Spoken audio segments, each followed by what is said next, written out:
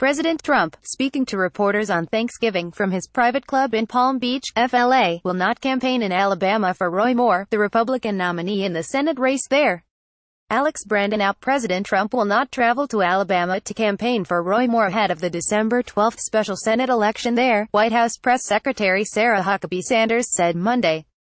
Trump has sought to bolster Moore's candidacy in recent days by warning that his Democratic opponent, Doug Jones, would be a disaster for Alabama, casting him as a puppet of Senate Minority Leader Charles E. Schumer DNY, and House Minority Leader Nancy Pelosi D. Califf.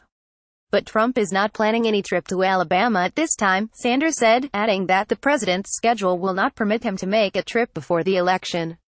Moore, the Republican nominee, has been accused of making unwanted UAL advances on teenagers while he was in his 30s. Speaking to reporters last week, Trump held open the possibility that he would campaign for Moore, saying he would reach a decision soon. On Sunday, Trump took to Twitter, writing the last thing we need in Alabama and the U.S. Senate is a Schumer Pelosi puppet who is weak on crime, weak on the border, bad for our military and our great vets, bad for our Second Amendment, and wants to raise his taxes to the sky. Jones would be a disaster. He followed up with another tweet in which he asserted that Moore's Republican rival, Luther Strange, had shot way up in the polls after Trump endorsed him. Can't let Schumer Pelosi win this race, Trump wrote.